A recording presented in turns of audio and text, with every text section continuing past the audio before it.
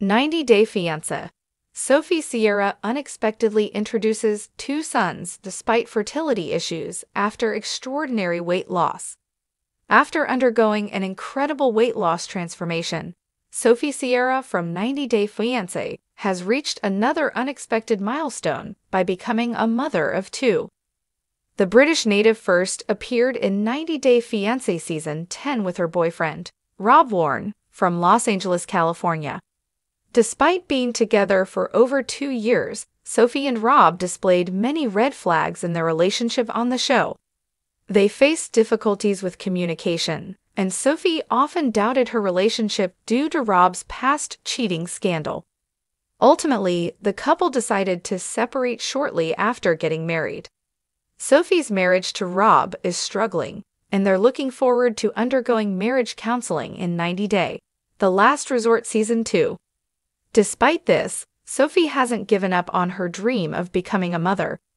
She recently shared a few videos of herself spending quality time with her two sons, who are actually her two pet dogs. Sophie shared videos of walking her two dogs separately on leashes in the Los Angeles, California area enjoying the experience of being a caring maternal figure. One of her dogs seems to be a brown Maltipoo, while the other may be a black bulldog. It's surprising to see Sophie embracing a maternal role, considering she previously had a strict no kids policy.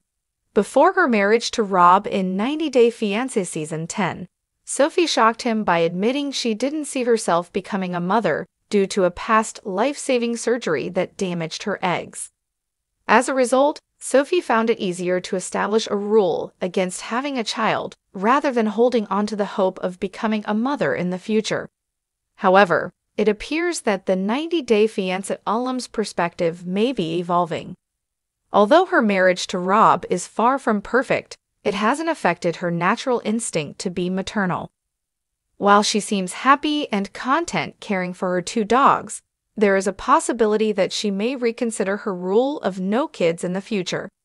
Perhaps if she meets a man who makes her feel completely secure and loved, she might consider starting a family with children and furry friends. Despite being only 26 and having ample time to start a family, she should be wise enough to stop dallying with men who don't meet her expectations. It may be best for Sophie to finally walk away from Rob whose qualities as a husband don't align with her standards.